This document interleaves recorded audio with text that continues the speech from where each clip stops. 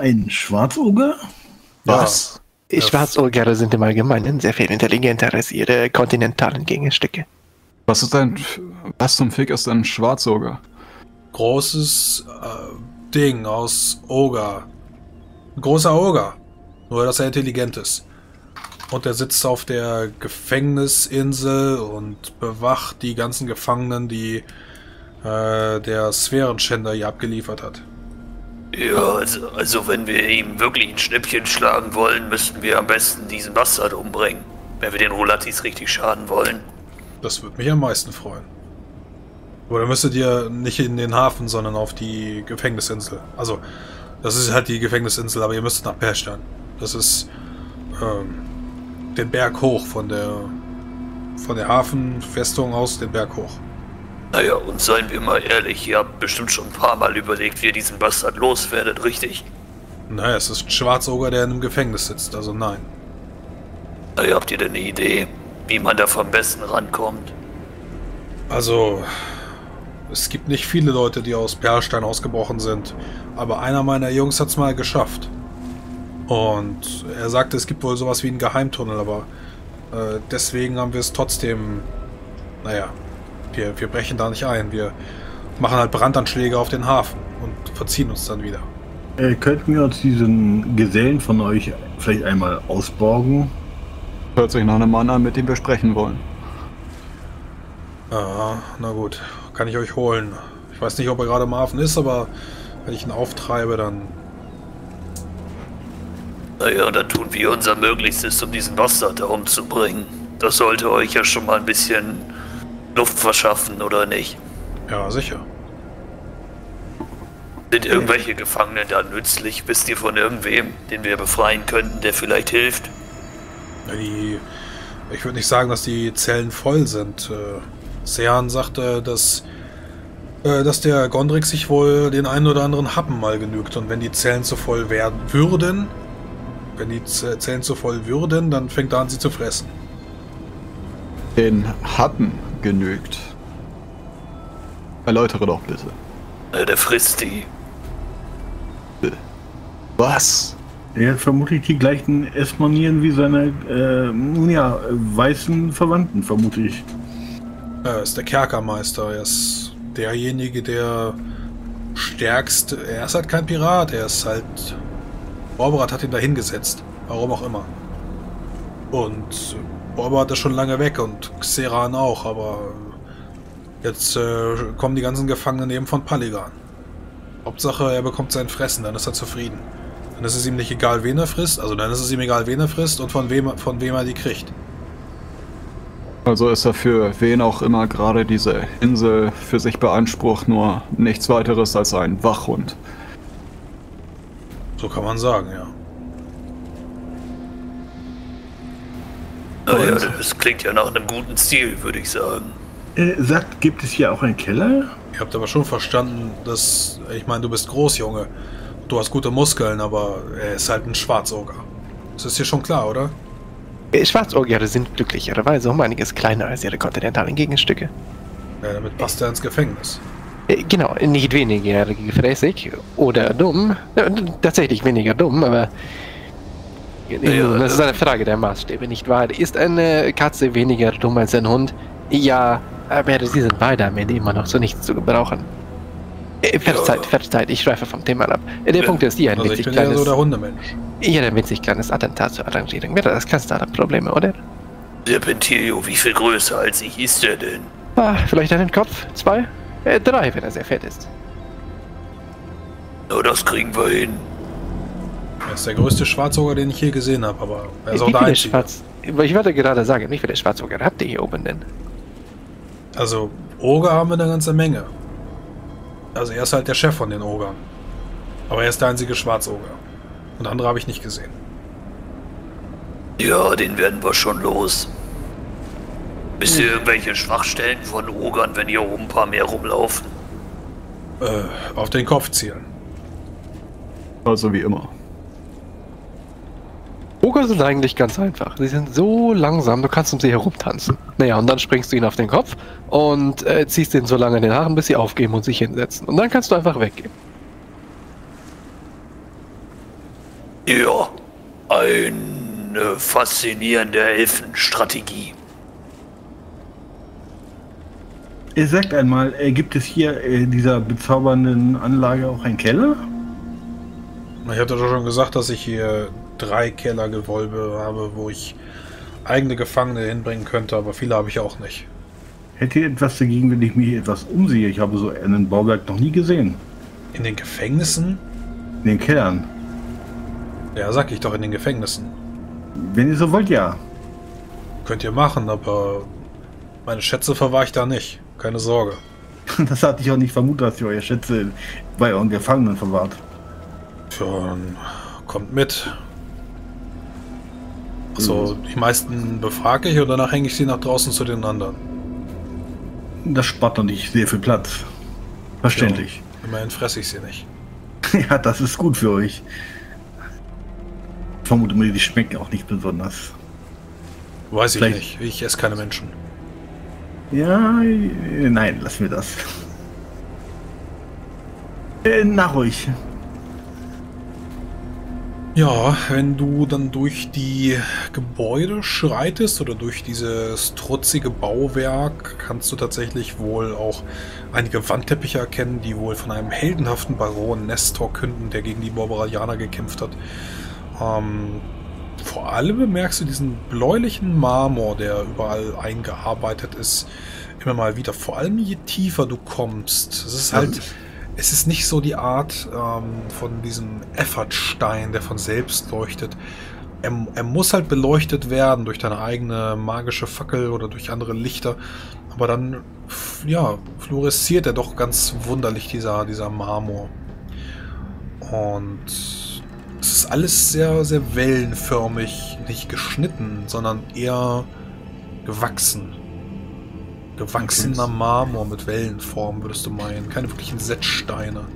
Also gibt es irgendwelche Zeichen oder Gravuren an den Wänden oder Bildnisse in irgendeiner Form? Zeichen, Viele, Sch- viele, Schriften? viele Wellenformen. Und ja, du kannst mal auf ähm, Astaria würfeln. Schriften kennen. Habe ich nicht. ah, Ähm, äh, Medarion! Äh, Ja, bei mir? Ja, kommt, kommt her. Oh, ich dachte, weil du so, ich dachte, weil du so laut dort? rufst. Oh. Ja, Dario ist irgendwie schon über einen halben Platz gesprintet, kommt jetzt mit hängenden Schultern wieder. Ich dachte, du rufst so laut, weil wir uns jetzt Dinge zuschreien. Ich wollte extra weit weggehen, damit ich dich schlecht hören kann. Lest einfach vor. Was steht dort? Ähm, ich muss schauen, ob mein Dario überhaupt Schriften hat. Gib mir eine Sekunde. äh, er kann Astaria auf 5. So, ähm, fünf. Okay, du erkennst es auf alle Fälle. Chip für die 19, Chip für die 19.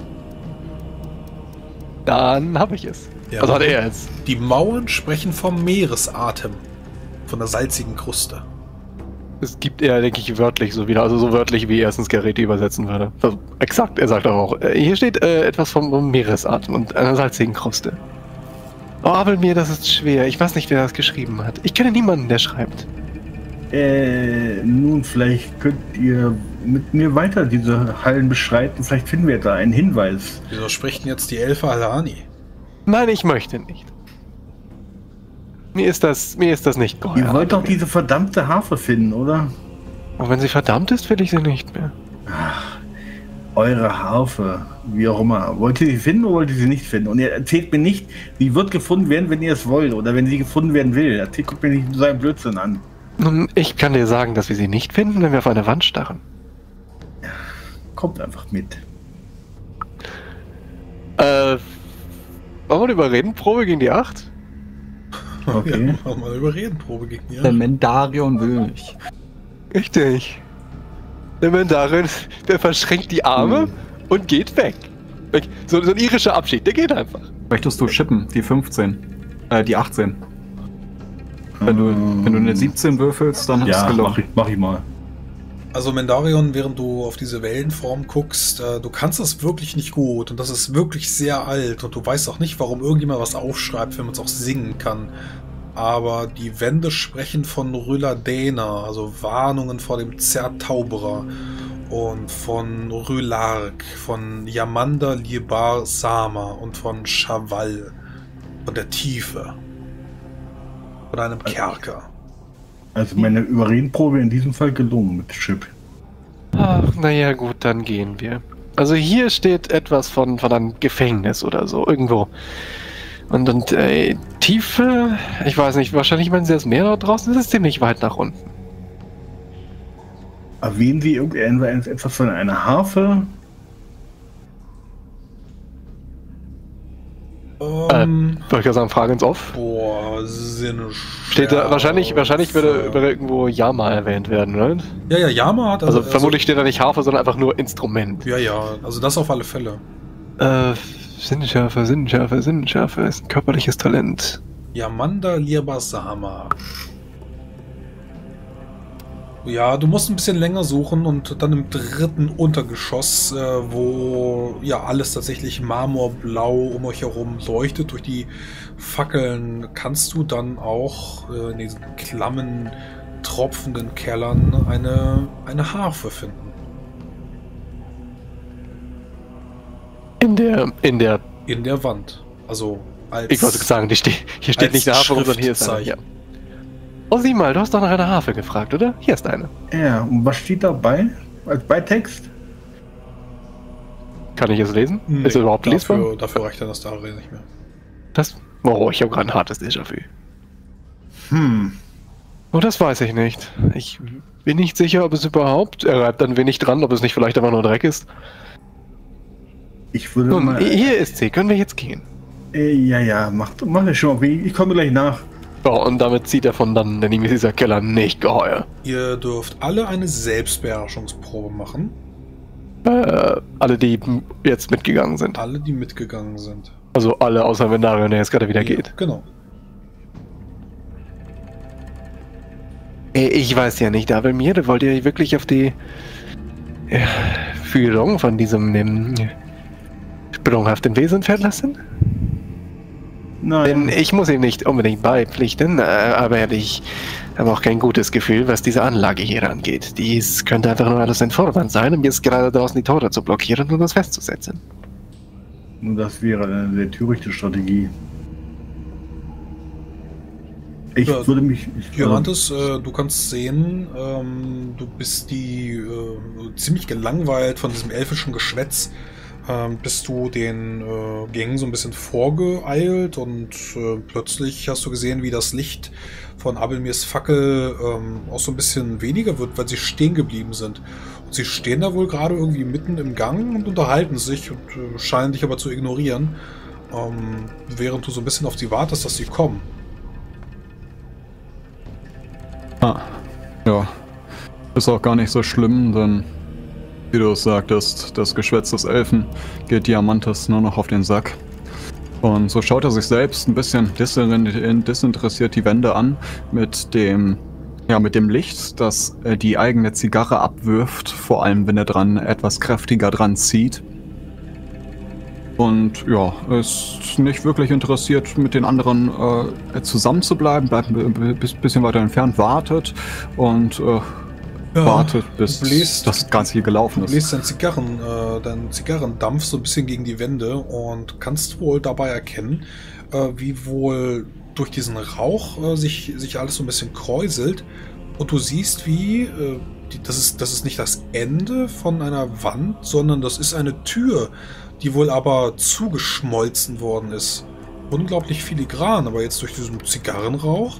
Also wenn du ein bisschen mehr Licht hättest, dann, dann könntest du da sicherlich auch die, diese Nee, du guckst nochmal genauer hin, die ist tatsächlich zugeschmolzen. Das ist das Ende des Weges. Sieht so ein bisschen milchig aus, als würde die, die Luft drumherum ebenso erstarrt sein. Diamantes äh, fühlt an dieser äh, Tür entlang mit der Hand, ob er äh, nachfühlen kann, wo das wohl geschmolzen ist. Oder ob er da irgendwelche Rillen entdecken kann. Oder ist das wirklich perfekt mit der äh, Wand zusammengeschmolzen? Also nicht elfisch perfekt, chaotisch perfekt, würdest du sagen. Ja, kann ich nicht äh, unterscheiden. Aber das reicht dennoch, um die Aufmerksamkeit zu erregen. Hey, Abelmir! Beeilt euch mal, hier drüben, Ja? ich habe was gefunden. Ja, wenn ihr euch so ein bisschen im Keller umblickt, Diamantes ist verschwunden. Ihr wisst nicht, wo er hin ist. Wo seid ihr? Diamantes! Ist der denn ein Loch gefallen? Wetten, der ist nach draußen gegangen, um seine Zigarre zu rauchen. Wie, Niemand sollte sich bewegen. Vielleicht ist eine Falle hier. Äh, könnt ihr mich da noch hören oder kann ich sie hören? Das, äh, kann ich das nicht noch sehen? Ja, realistischerweise, wenn die, wenn die, äh, realistischerweise, wenn die Illusion nur optisch ist, müsste Schall ja durchgehen. Ja, sie können dich hören, aber sie sind ja einfach, also die anderen, du bist den anderen egal. Das ist das Problem. Also ich sehe die, äh, Siehst ruf, ja. ruf, rufe ihnen zu und die, die schauen sich das ein bisschen Meter, um. Fünf Meter von dir entfernt. Hier drüben. Äh, sagt. Hä?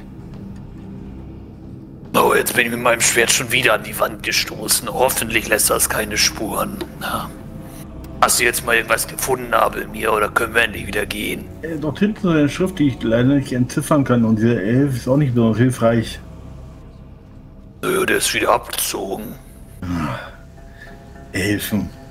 So sprunghaft wie eine Katze. Plötzlich steht Diamantes wieder vor euch. Ja, marschiert ah. mit äh, schnelleren Schritten auf euch zu. Sag mal, ich rufe euch die ganze Zeit. Was, wo, was wo treibt kommst, ihr denn hier? Wo kommst, wo kommst, du denn plötzlich her? Ja, hier, hier durch. Er deutet auf eine Wand. Ja, das ist eine Wand, das hast du gut erkannt. Nee, da ist, da ist keine Wand, das ist einfach, das ist einfach egal. Es ist einfach egal, was da ist. Ach, ach so. Okay. Ah, ah es ist einfach egal. Also es interessiert meine, euch siehst, nicht. Siehst du, deswegen ist Meldarion weggegangen, weil dem die Egalität so egal war. Also Diamantes, du deutest halt auf die Tür, also die, diese verschmolzene, chaotisch verschmolzene Tür, aber die anderen, die anderen, denen ist es egal. Wie geht das weiter? Wo, wo wollt ihr denn hin? Ich, ich probiere mal das aus. Äh, ich würde mal die Augen schließen und ganz langsam auf diese Wand zu gehen. Naja, da ist halt keine Wand, aber du kannst halt äh, vorbeigehen an diesem Ding, was auch immer dort wirkt. Und ja, den anderen wird aber mir genauso egal, wie Diamantes eben egal war. Naja, Zulamin. Das also, war er schon vorher. Also das wäre jetzt ein Kunststück, es noch egaler zu machen. Also wie lange wollen wir jetzt hier eigentlich noch bleiben? Können wir jetzt endlich wieder gehen? Nun, da Diamantos wieder da ist, das scheint jetzt zu nichts zu führen hier. Ja. Wie, wie, das scheint nichts zu führen? Hört ihr mir nicht zu? Da geht es weiter. Wo denn? Ja, da ja. wo Abel mir gerade lang gegangen ist. Da wo äh, er steht. Ich Doch. sehe nicht, was ihr meint. Ach, Abel mir ist schon wieder hochgegangen. Ja, Diamantes, da geht's natürlich weiter. Das geht ja auch hier wieder raus. Äh, vermutlich geht er noch den Elfen noch einmal.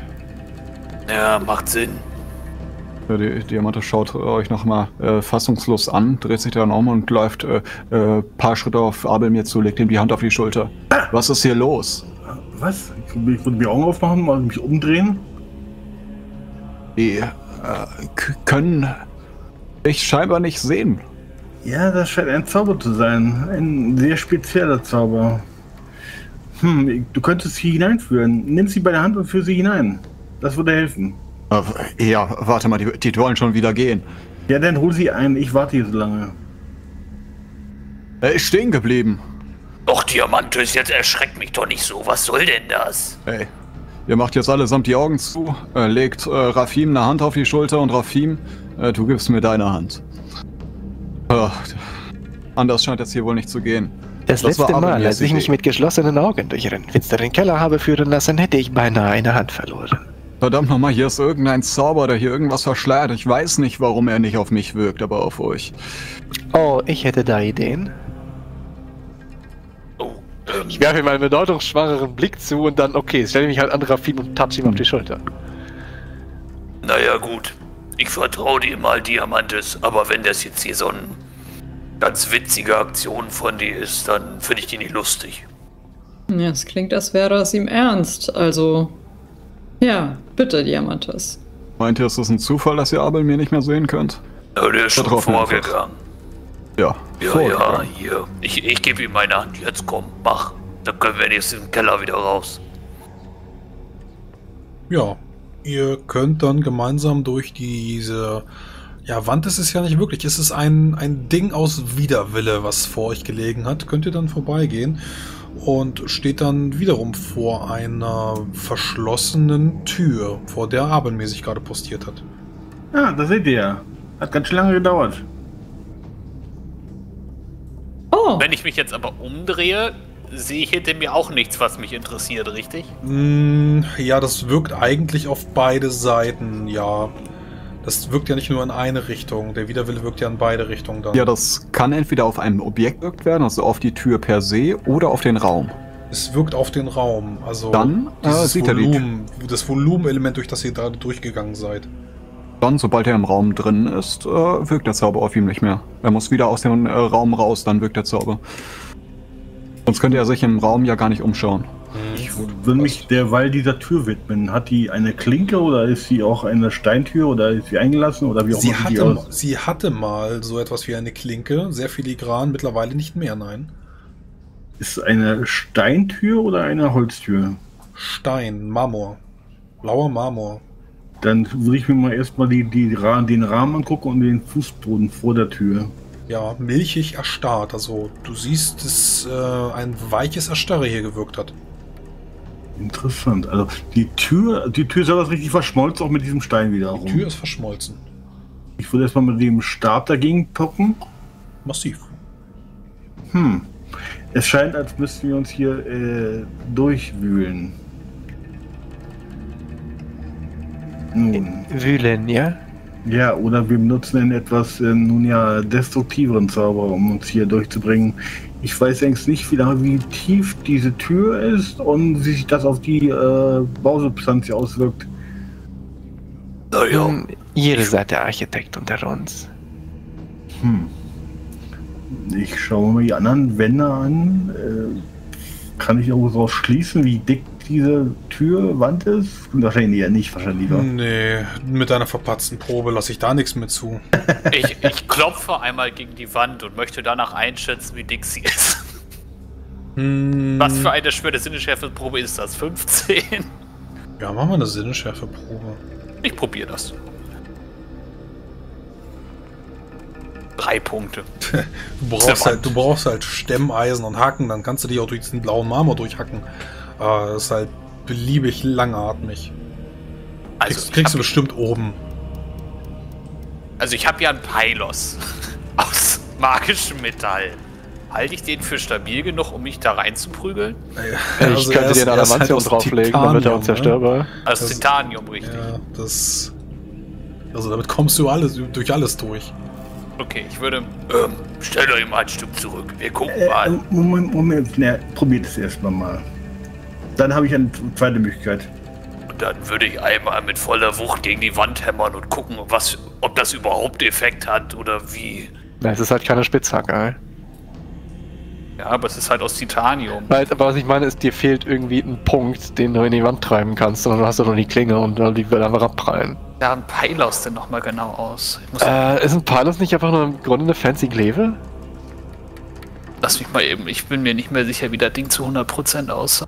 Den Pylos ist so ein Doppelkling, oder? Nee, du hast eine Zweilinie. Ach ja, stimmt. Es hat eine Spitze meines Erachtens. Mhm. Ja, Das es ist eine, Sp ist eine Spitze. Das Problem ist, die Spitze ist an der, an der Längsseite. Das du kannst dann höchstens damit Ja. stechen und wenn du stichst, kannst du halt nicht die, die Haukraft aus den Armen äh, aufbringen. Halt. Wir starten Also ich denke- wir das Ding mal. Gucken, wir gucken mal, was passiert. Hat das Also- überhaupt einen Effekt? Also ja, natürlich, das hat einen Effekt. Du kannst auch mal deine Trefferpunkte auswürfeln. Hier, die Wand ist bewegt sich. Nee, die ich- bewegt sich nicht, aber die hat Strukturpunkte und eine Härte. Das hat sie auf alle Fälle. Okay, ich meine, da, da jetzt äh, Wuchtanschläge Sachen reinzulegen, ist dumm, oder? Das Nee, nee, das das nicht. würde 21 Schaden machen. Mhm. Mit einem magischen Metall. Du merkst, dass die, der Marmor splittert, aber es ist halt nicht so durchbrechen. Du kannst aber sehen, dass, äh, oder vielmehr kommst du auf die Idee, dass du wohl nicht die Wand anvisieren solltest, sondern vielleicht vielmehr dieses, ähm, diesen versiegelten Schaum, diese, diese sch- geschmolzene Kleie, die da irgendwie zwischen der Türspalte äh, hängt. Ähm, und also, das ist so das, was, was die eher in den Sinn kommt, nachdem dieser Marmor splitterte. Du kannst aber auch ein tiefes Grollen aus deiner Waffe wahrnehmen. Ja, also zwei Punkte. Raskorda ist kein Freund von dem, was wir hier machen. Und ich glaube, wir sollten hier an der Seite irgendwie. Hier, ähm, da hat doch irgendeiner irgendwas gemacht hier. Da hat doch einer Stein hingegossen.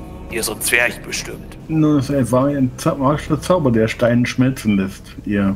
Ja, aber wenn er, also, Rafim nimmt mal so seine Hand und malt so eine Linie geführt an die Wand. Also hier müssten wir doch ungefähr was wegmachen, weil da war doch mal die Tür, Eingang, was auch immer hier mal war. Äh, meint ihr nur da, wo ihr angezeigt habt? Das lässt sich machen. Ja, so auf der gesamten Länge. Ich, ey, mach doch mal was Magisches. Ja, nun gut, nun gut. Ich gebe allerdings zu. Ähm, Sekunde, äh, weil mich gerade jemand fragt. Ich hatte den, den Bild von Pylos in, in, in unseren Discord. Oh, nice.